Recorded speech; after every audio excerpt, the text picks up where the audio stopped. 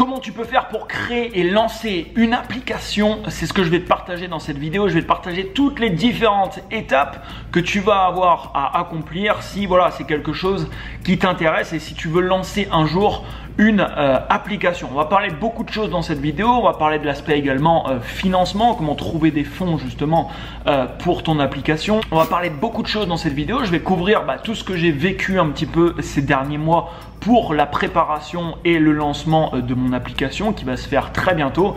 Et puis voilà, si c'est d'ailleurs un sujet qui t'intéresse, si tu as envie que je te partage un peu l'évolution de mon projet, bah, n'hésitez pas à me le dire dans les commentaires et à bombarder le pouce en fonction des retours qu'il y a. Bah, je te ferai pas mal de vidéos sur ce sujet et puis je pourrais te faire si tu veux suivre l'évolution un petit peu euh, de mon projet. C'est parti, je te montre ça directement sur mon écran. Donc, créer et lancer une application mobile, euh, je vais partager quatre étapes pour le faire et je vais partager également quatre erreurs vraiment qui sont des erreurs assez courantes à, euh, bah, ne pas faire si tu veux lancer un jour une application mobile. Alors, l'étape numéro 1, euh, bah, L'étape numéro 1, c'est valider, euh, valider l'idée. Et c'est extrêmement, extrêmement important. Malheureusement, ça peut paraître euh, logique, mais pourtant, ça l'est pas pour tout le monde. Il y a plein, plein de personnes qui, qui, mettent beaucoup d'argent à développer des projets sans avoir passé de temps à valider leur idée. Et au démarrage du projet, ils se rendent compte de tout un tas de problèmes, de tout un tas de problématiques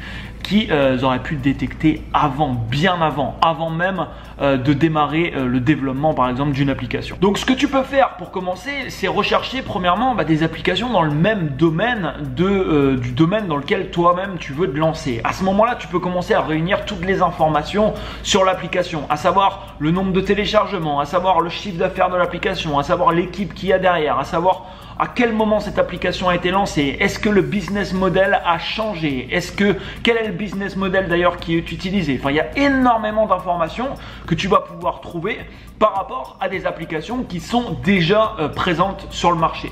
Deuxième chose que tu peux faire, c'est de rechercher des informations sur le CEO de, euh, bah, de la boîte en question. Et généralement, si c'est quelqu'un voilà, qui a monté plusieurs projets, il y a de très grandes chances, par exemple, qu'il ait au moins été interviewé une fois sur une vidéo ou qu'il ait été interviewé une fois sur un podcast alors tu peux très bien aller par exemple, je sais pas, sur Apple Podcast, tu tapes le nom du CEO, tu peux aller sur YouTube, tu fais la même chose. Et euh, bah, crois-moi, rien qu'en faisant ça, tu peux trouver énormément d'informations. Puis ça peut être très intéressant d'écouter euh, différentes personnes qui ont créé des projets qui sont voilà avec des similitudes entre guillemets avec le projet euh, que toi tu veux monter. Ensuite, tu peux te poser bah, des questions essentielles et extrêmement importantes. Ces questions, par exemple, c'est en quoi personnellement je me démarque de ce qui existe? Qu'est-ce que mon application, voilà, comment elle va se démarquer de ce qui existe déjà? Quelle est la valeur supplémentaire que j'apporte avec le projet que je vais mettre en place. Comme je te disais, rien que cette étape, bah malheureusement, il y en a beaucoup qui ne prennent même pas la peine de faire ça, mais c'est essentiel. C'est essentiel de passer du temps justement sur la validation euh, de ton idée. Autre chose que tu peux faire, tu peux également rechercher les projets qui ont fermé. Parce que oui, tu vas apprendre des projets qui tournent actuellement, qui font du chiffre, qui euh, fonctionnent bien, mais tu vas apprendre également énormément sur des projets qui potentiellement potentiellement ont été lancés et qui ont fermé leurs portes. Et je peux te garantir que dans le domaine dans lequel tu veux te lancer, euh, c'est le cas. Il y a certainement des projets et plein des fois de projets qui sont lancés et tout simplement qui ont fermé pour tout un tas de raisons différentes. Et pour ça, bah, tu peux aller sur Google tout simplement, faire des recherches, euh, taper application avec des mots-clés derrière de ton domaine, regarder les articles mais pas t'arrêter à la première page, tu vois. Consulter les 5, les 10 premières pages, aller voir les articles qui ont été publiés il y a des années pour annoncer par exemple le lancement d'un projet ou d'un autre. Je peux te garantir que c'est toujours pareil, tu vas apprendre énormément de choses par euh, des projets qui ont fermé leurs portes. à ce moment-là, il faut que tu saches bah, pourquoi ils ont fermé, quelles sont les erreurs qu'ils ont fait pour t'éviter toi-même de reproduire les mêmes erreurs. Autre chose que tu peux faire, c'est que tu peux rentrer en contact avec les fondateurs du projet en question qui ont fermé. Tu peux leur expliquer par exemple le projet que tu es en train de mettre en place et euh, bah tout simplement pour avoir un échange avec eux, pour avoir un retour, savoir ce qu'ils en pensent. Et toujours pareil, tu peux euh, récolter euh, par cette méthode bah, tout un tas d'informations intéressantes. Si tu peux même les rencontrer en physique, c'est encore mieux. Ok, on passe à la deuxième étape. Tu as validé ton idée, tout est ok, tu apportes une certaine valeur, enfin tu as tout un tas d'informations qui te donnent des signes, euh, des signes voilà qui sont au vert. Alors ça veut pas dire que ton application va marcher, ça veut juste dire que tu as mis avant de démarrer toutes les chances de ton côté. Et les signes, voilà, les signaux, ils sont, bah, ils sont au vert.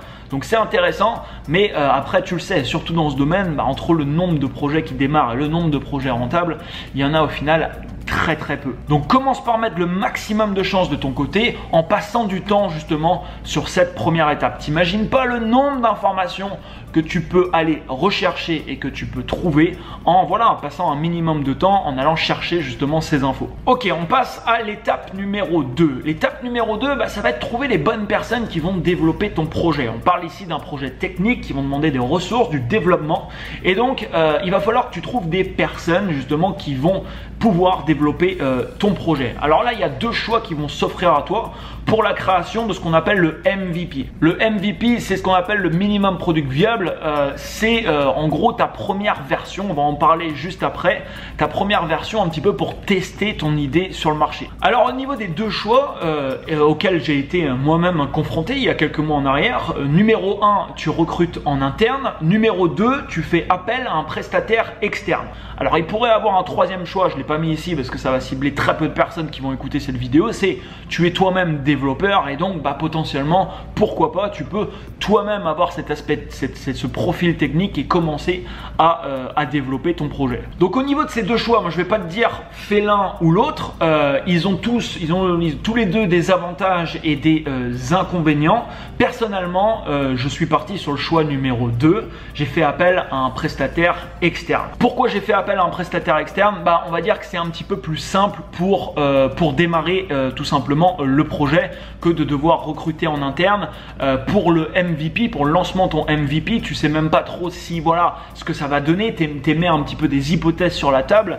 Et avant que ces hypothèses elles soient confirmées par le marché, bah, je trouvais intéressant et après avoir parlé avec pas mal de personnes, je trouvais intéressant de faire commencer par faire appel à, euh, à, une agence, à euh, un prestataire externe et puis une fois le lancement effectué, de recruter en interne parce que surtout sur un projet comme ça, une application, il va te falloir des gens avec toi. Si tu es obligé de passer un coup de téléphone et attendre une semaine à chaque fois qu'il y a une modification à faire, c'est un petit peu euh, compliqué. Il y a aussi pas mal de startups et de personnes qui se lancent en ayant des gens directement en interne. Ça a également des avantages. Tu as les gens vraiment avec toi.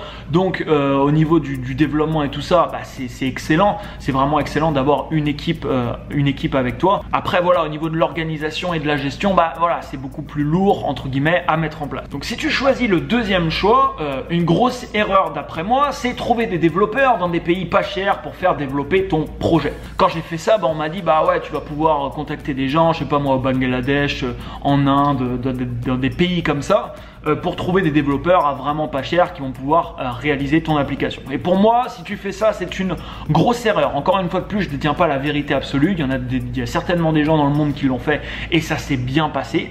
Personnellement, euh, il était hors de question que je fasse ça. J'ai fait développer des projets avec des prestataires externes dans des pays où c'était pas cher. J'ai lancé par exemple en début d'année un software. C'est une équipe en Inde qui a développé, euh, qui a fait développer ce software.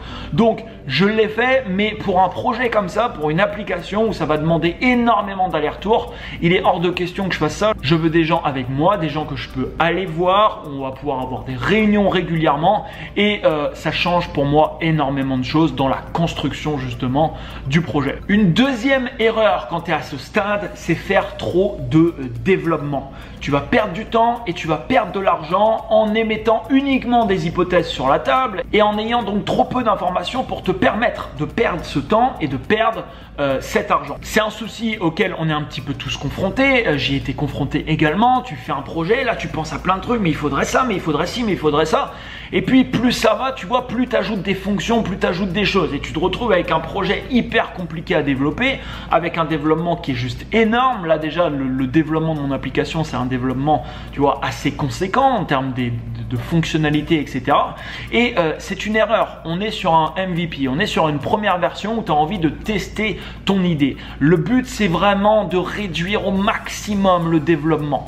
De réduire au maximum le développement, ça va te coûter moins d'argent, ça va te prendre moins de temps. Une fois que tu lances le projet, tu vas pouvoir commencer à récolter des informations et en fonction ensuite des retours utilisateurs, en fonction des informations que tu récoltes et de ce qui se passe dans le réel, dans le concret, bah, tu vas pouvoir agir, tu vas pouvoir continuer, tu vas pouvoir développer euh, différentes choses et, améliorer au fur et à mesure du temps le euh, développement. Alors si tu pars sur le deuxième choix, comme je te disais tout à l'heure, comment on fait pour trouver les bons euh, prestataires?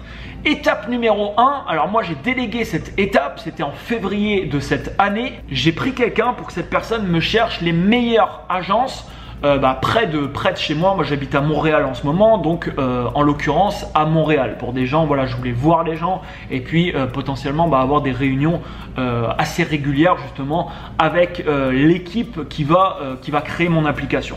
Donc ça, ça a été la première étape. Cette personne, elle a fait donc des recherches. C'est des recherches hein, que tu peux faire également toi-même, bien entendu, en ayant voilà, en regardant les avis, en regardant des témoignages qui circulent sur le web, en contactant potentiellement des gens. Tu cibles vraiment les meilleurs agents qui sont, euh, bah, qui sont dans, un périmètre, on va dire, pas trop loin de chez toi. Après, bien sûr, si tu habites, je sais pas moi, en pleine campagne, etc., tu peux, tu peux cibler des gens, je sais pas moi, qui sont dans la ville la plus proche, une demi-heure, une heure, une heure et demie, même deux heures. Ça peut se faire. L'idée euh, pour moi de faire ça, de prendre des gens à proximité, comme je te dis, c'est de pouvoir rencontrer les gens et puis de pouvoir faire ensuite des réunions euh, bah, assez régulièrement. Donc dans cette étape, la personne m'avait sélectionné trois agences différentes. Donc l'étape 2, ce qu'on a fait, c'est qu'on a pris un rendez-vous, euh, on a pris un rendez-vous avec chacune de ces agences. Je ne signerai jamais un contrat pour développer un projet de ce type en ayant juste des gens au téléphone ou en échangeant juste des emails, tu vois. Pour moi, c'est impensable de faire ça. J'irai toujours rencontrer, tu vois, les gens. C'est ce que j'ai fait ici. On est allé voir trois agences différentes. D'ailleurs, il y a une vidéo qui s'affiche là. Euh, j'avais fait un vlog pour, euh, pour te montrer un peu toute cette partie. Euh, c'était en, en, début d'année, va voir ça si tu l'as pas vu. Abonne-toi également à cette chaîne YouTube si c'est pas encore fait pour recevoir bah, la suite et puis tout ce que je pourrais te partager sur l'évolution justement de ce projet. Et puis en fonction de ces rencontres, bah, il a fallu faire un choix. Et c'est très intéressant parce que quand tu vas déjà voir 3, 4, 5 personnes différentes, tu vas avoir des retours différents. Il y en a qui vont te conseiller quelque chose et puis il y en a un autre qui va te conseiller autre chose au niveau par exemple de ce que tu vas utiliser comme langage technique au sein de ton application. Comment par exemple ça va être développé. Moi j'ai des agences qui m'ont conseillé ça et puis j'en ai d'autres qui m'ont conseillé ça, tu vois. Donc c'est très important de prendre différents avis. Tu vas toujours pareil récolter de l'information, c'est toujours bon à prendre. Tu vas toi-même apprendre des choses et puis en fonction de ça, tu vas faire ton choix. Au niveau du choix que tu vas faire, il y a des paramètres qui vont rentrer en ligne de compte, bien sûr. Il y a également un paramètre pour moi qui rentre en ligne de compte qui ne peut pas être expliqué et c'est toi-même qui va le ressentir. C'est un peu le feeling que tu ressens avec les personnes, ton intuition qui va te dire ok, bah euh, c'est les bonnes personnes. C'est ce qui m'est arrivé principalement. Là aujourd'hui, voilà, je travaille avec des gens, je suis vraiment content de bosser avec eux. On s'entend super bien. On allait même aller faire une, bouffe ensemble, aller dîner ensemble l'autre jour au restaurant. Donc tu vois, c'est des gens auxquels on se voit régulièrement et euh, on échange sur le projet. Ça se passe bien, mais avant ça, tu vois, j'ai fait la démarche bah, d'aller voir plusieurs agences, de cibler les meilleures agences et de ne pas, tu vois, me dire ok, je vais gagner 50 000 euros, donc je vais faire développer mon projet euh, en Inde. Euh, par exemple. Alors la question que tu te poses maintenant, euh, tu dis ok c'est bien beau tout ça peut-être, mais combien ça coûte? Combien ça coûte le développement d'une application? Et forcément ici on est dans un business qui a quelques barrières, tu vois, parce qu'il y a un prix d'entrée déjà qui est assez élevé. C'est pas comme différents business, j'ai pu te montrer également sur cette chaîne YouTube. Tu fais je sais pas moi du e-commerce, tu fais de l'affiliation, tu deviens infopreneur, tu vends des programmes de formation en ligne. Ça demande pas, tu vois, d'investissement en argent. Ça va te demander uniquement de l'investissement en temps. Et c'est pour ça que c'est des genres de business qui sont extrêmement intéressants. Mais on va en parler juste après parce que tu vas voir que tu peux faire un rapprochement entre les deux. Donc combien ça coûte euh, bah, Pour le développement d'une application, si tu le fais dans des pays, je sais pas moi, comme en France, Canada, aux États-Unis, des pays comme ça, euh, bah, tu trouveras difficilement une réalisation en dessous de 50 000 euros. 50 000 euros, ça va être vraiment voilà un peu le premier palier. Tu peux trouver peut-être à 30 000, 20, 25 000, 30 000, 40 000. Ça dépend si vraiment tu as un truc où tu n'as pas beaucoup de développement, ça demande très peu de développement. C'est possible. Après, si tu commences à partir sur une application qui demande quand même, même pour ton MVP, pour ta première version, bah, pas mal de, fonctionnalités quand même et un développement voilà qui est assez euh, entre guillemets conséquent, bah, ça va monter assez vite. Personnellement, voilà, pour le développement par exemple de mon application, ça me coûte aujourd'hui environ 100 000 euros. Alors mon application, c'est une application d'interaction sociale sur demande. Je t'ai fait une vidéo également où euh, j'annonce le recrutement de 300 personnes pour l'application. N'hésite pas à aller la voir si tu l'as pas vu. Et tu vois au sein de mon application il y a par exemple des systèmes de communication, il y a des systèmes de cagnotte, il y a de l'échange d'argent, il y a il y a quand même beaucoup de choses, même pour le MVP, même si on réduit, tu vois, au maximum le dev. Donc, bah, ça monte, euh, ça monte assez vite. On a utilisé ici, il faut savoir, des technologies qui nous ont permis de réduire euh, le coût. Je ne vais pas trop rentrer dans les détails techniques, c'est inutile, mais ça nous a permis de réduire le coût. Donc là, tu vois, ça me coûte 100 000 euros. Il y a une agence, par exemple, qui m'a proposé, qui m'a fait un devis à plus de 200 000 euros. Alors maintenant vient la question, euh, comment tu peux financer ça? Alors au niveau du financement, bah, il n'y a pas 36 choix tu as deux choix. C'est soit tu finances toi-même, c'est ce que j'ai fait, soit bah, tu n'as pas d'argent et tu vas chercher du financement externe. Alors personnellement, voici le modèle que j'ai utilisé, qui est très peu utilisé. Hein. J'ai entendu très peu de personnes euh, au final faire ça. Euh, mais c'est pour moi voilà une grande chance de pouvoir le faire et c'est pour moi quelque chose de très très très intéressant. Ce modèle c'est tout simplement bah tu as une société déjà en place, tu as déjà un business qui tourne, on va appeler ça société A et c'est ce que j'ai personnellement et euh, c'est un, un business qui est rentable, qui te rapporte de l'argent et tu vas donc utiliser cette société pour le financement justement de ton application, du projet que tu veux euh, mettre en place. Donc ça forcément bah, c'est énorme et c'est vraiment très intéressant dans le sens où j'ai pas eu besoin d'aller chercher du financement externe, j'ai pas eu besoin de lever des fonds, j'ai pas eu besoin d'aller voir des gens proches de moi pour leur demander de l'argent.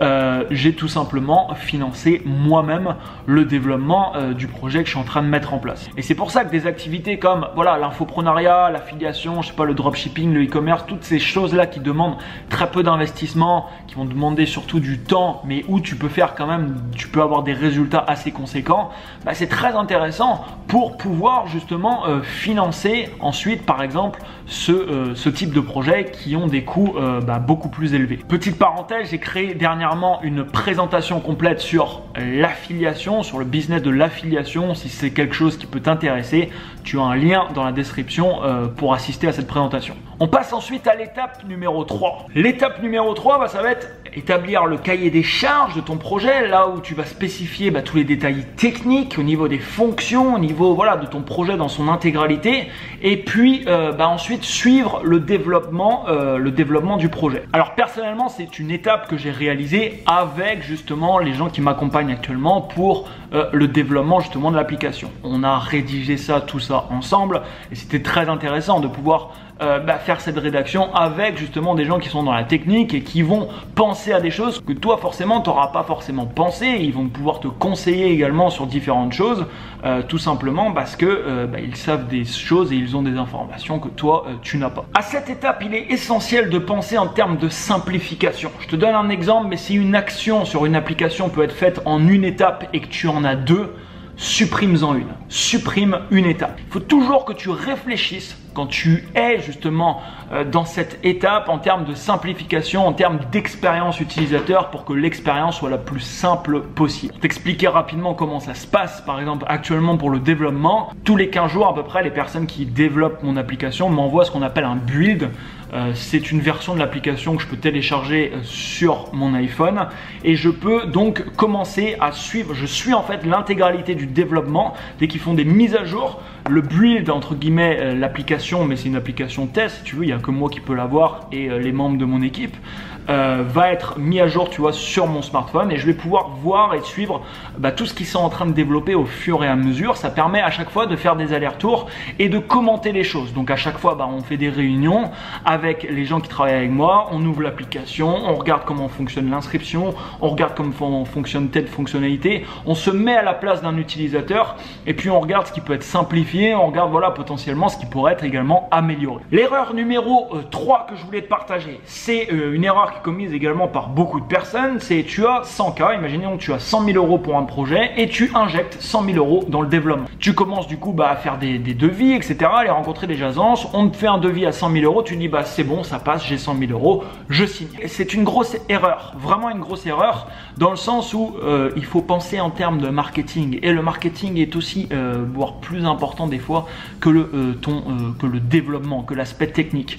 Il te faut, j'aimerais te dire, au moins euh, voilà, le, même budget pour le marketing que pour le développement. Si tu injectes 100 000 euros dans le développement d'une application, il faudrait que tu as 100 000 euros au moins à côté pour le marketing, pour le lancement de ton, euh, de ton projet. Alors bien entendu, il va des fois falloir sur certains projets 10 fois, 15 fois, 100 fois plus. Si par exemple tu montes une application qui n'est pas monétisée, comme beaucoup au final d'applications, bah, si l'application ne te rapporte pas de revenus, il va falloir constamment que tu injectes des fonds sans qu'il y a rien qui arrive. Donc à ce moment-là, euh, tu ne pourras pas financer toi-même, ça sera très compliqué. Il va falloir que tu lèves des fonds. C'est ce que la majorité des applications qui se développent comme ça euh, font. Alors il y a une chose qui prend de la valeur, bien entendu. Si le développement monte, si l'application prend de l'ampleur, bah, c'est la valeur justement de ton application qui augmente au fur et à mesure du temps.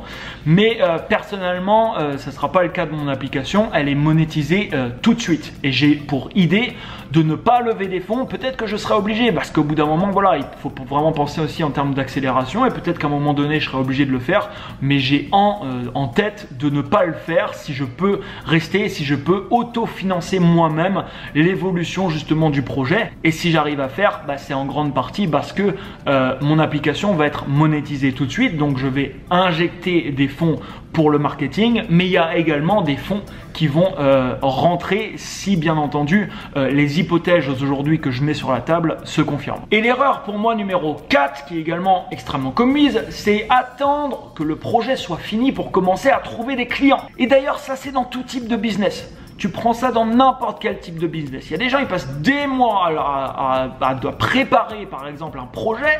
Là, on parle d'application, mais tu parles de ce que tu veux, ça n'a pas d'importance. Et puis, quand ça y est, c'est en place, le magasin ouvre, l'application est disponible sur l'Apple Store, là, il se pose la question, ok, Comment je fais maintenant pour, euh, pour trouver des clients C'est une grosse, grosse, grosse erreur. Il faut que tu te constitues une base de données avant même le lancement de ton euh, projet. Pour donner un exemple, j'ai sorti une vidéo dernièrement, je te parlais tout à l'heure, je recrute 300 personnes pour mon application, euh, ce qu'on appelait des confidents justement sur l'application. Bah, Aujourd'hui, j'en ai pas 300 au final, j'en ai déjà plus de 2000. J'en ai déjà plus de 2000, donc je sais que rien qu'au lancement, j'ai déjà près de 2000 personnes qui attendent justement l'ouverture. Mais euh, je ne vais pas m'arrêter là. L'application va ouvrir dans un mois et demi, deux mois. Euh, je vais monter peut-être à 3000, peut-être à 4000 personnes. Sans compter les réseaux sociaux qu'on est en train de développer actuellement. Sans compter les influenceurs qu'on est en train de contacter également actuellement pour le lancement du projet. Sans compter les médias également qu'on contacte actuellement. Il y a plein de choses que tu peux mettre en place qui vont assurer entre guillemets que à l'ouverture, tu vois, il va avoir une certaine traction, il va se passer des choses. Toujours pareil, ça ne veut pas dire que ton application va marcher. Ça veut dire que tu vas pas être là en train qu'il y a un, deux ou cinq téléchargements. Tu vas pouvoir contacter des milliers et des milliers de personnes et dans les 48 heures suivant le lancement, tu vas avoir des milliers et des milliers de téléchargements, des milliers de réactions, des centaines, voilà, potentiellement de retours. Et ça, ça va te permettre d'avoir tout un tas d'informations extrêmement utiles pour la suite de ton projet. Donc prépare le lancement pendant le développement. Trouve une base d'utilisateurs prête à download ton app, crée les réseaux sociaux associés à ton app et commence à te construire une audience dessus. Travaille sur ta communication marketing, comment tu vas communiquer, quels sont, voilà, le, quel est le plan de match, comment tu vas lancer les choses, quelle, est la, la stratégie de communication que tu vas avoir. Lance des publicités également sur Instagram, Facebook et tu peux tester différents messages et tu regardes un peu les messages euh, bah, les messages qui marchent le mieux, là où tu as le plus de résultats. Prends contact avec des médias, avec des influenceurs prêts à relayer ton projet à sa sortie. Ça, c'est une petite liste, tu peux faire bien d'autres choses, mais euh, c'est pour moi essentiel avant le lancement euh, d'un projet quelconque. Alors, petite question maintenant que je te pose, comme je te disais au début de vidéo, est-ce que ça t'intéresse que je te partage sur cette chaîne YouTube l'évolution un peu, même en mode un petit peu vlog, tu vois, du projet, de l'équipe, de ce qu'on met en place, etc. sur cette chaîne? Si oui, bah, n'hésite pas à me le dire en commentaire Je t'invite à mettre un énorme pouce également euh, juste en dessous euh, de la vidéo. Et puis partage bah, cette vidéo à toutes les personnes qui pourraient être intéressées pour, euh, par exemple, monter un projet de ce type. Comme je te dis dans cette vidéo, c'est pas une vérité absolue. C'est personnellement ce que j'ai fait par rapport à toutes les étapes dont je suis passé.